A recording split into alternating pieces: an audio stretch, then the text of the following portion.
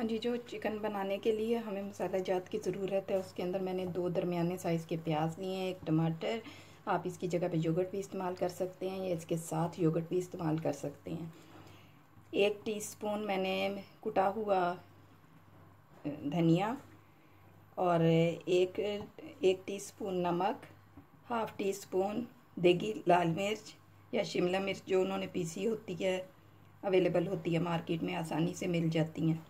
और ये red chilli powder, half teaspoon half teaspoon हल्दी और हाफ़ टी स्पून मैंने जिंजर, उसका लहसुन पेस्ट लिया है और ना, लहसुन पाउडर और एक टीस्पून हमने लिया है वेजिटेबल मसाला।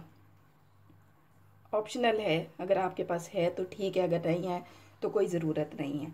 उसके अलावा हमने गार्निशिंग के लिए हरा धनिया लिया है स्लाइस की हुई स्लाइस की हुई हमने ली है जिंजर चलें तो अब हम स्टार्ट करते हैं।